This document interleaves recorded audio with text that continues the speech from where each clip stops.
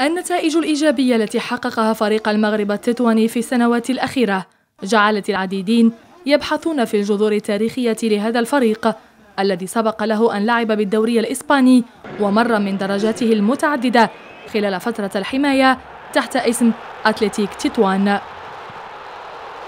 une exposition اللي هي كتجمع قدماء ديال اتليتيكو تطوان حيت هاد الناس لعبوا في هاد ال championnat ديال اتليتيكو تطوان في السنوات 50 51 ولعبوا في في première division espagnole كان مقابلات اللي كتشوفوا هنا راه كاين صور ديالهم.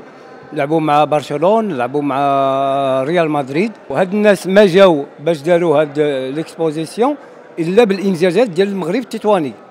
جمعية لاسينكوينتا الإسبانية لأنصار نادي أتلتيكو مدريد اختارت تسليط الضوء على هذه الفترة ونظمت معرضا للصور لفريق أتلتيكو تطوان خاصة خلال الموسم الذي خاضه الفريق بدور الدرجة الأولى حيث قارع أندية ريال مدريد وبرشلونة L'Atlético Tétouan a été euh, fondé par euh, deux militaires espagnols qui étaient à Tétouan à l'époque, en 1933. Celui qui a fondé l'équipe, c'était un ancien joueur d'Atlético Madrid, avec quelques autres euh, militaires qui étaient supporters d'Atlético Bilbao.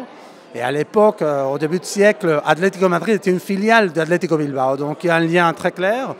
Donc euh, en fait, c'est une équipe euh, liée à l'histoire d'Atlético Madrid. On joue avec le même euh, maillot, les mêmes couleurs.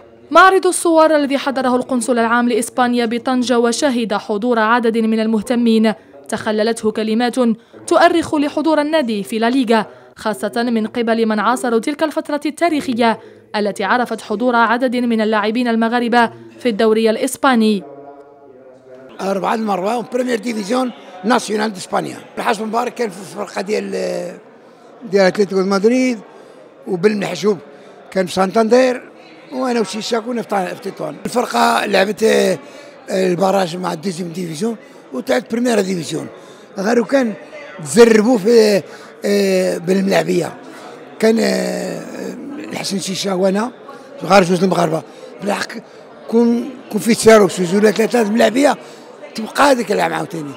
خطوة تنظيم معرض صور نادي أتلتيك تطوان بمدينة طنجة ستتلوها حسب المنظمين محطة أخرى خلال الشهر المقبل وهذه المرة بمدينة الحمامة البيضاء.